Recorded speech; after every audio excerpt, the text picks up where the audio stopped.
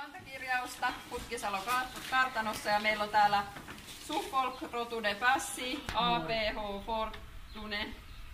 Ja tota, tämän paino on 84,2. Se kirjataan tänne.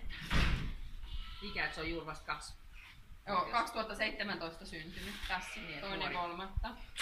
Ja nyt mä käytän tässä samalla tätä kantakirjaa, mobiilia, että mä pystyn tallentamaan samalla nämä tiedot tänne.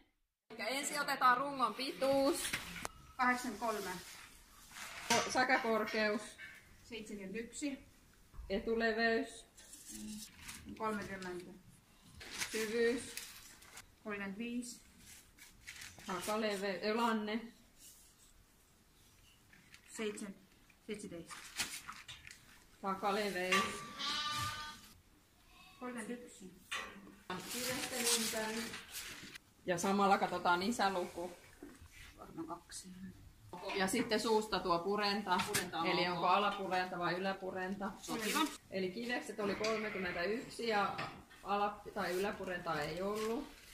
Ja sitten annetaan tuosta rakenteesta Voidaan päästä arvostelua. Pitkä runko. Siro, Mitäs jalat?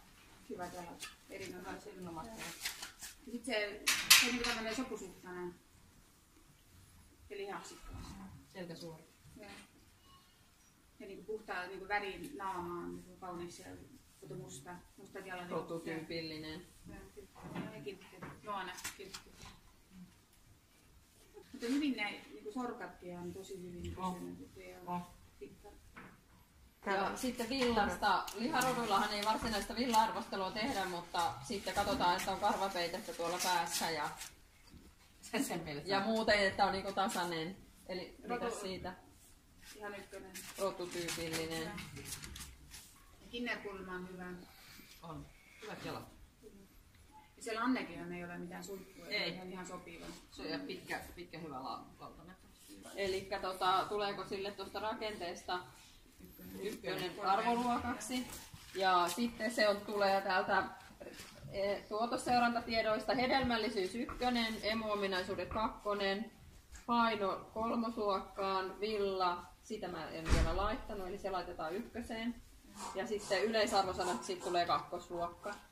Eli nyt sitten tallennetaan tämä tänne, tallennan ominaisuudet ja nyt tämä arvostelu on tehty.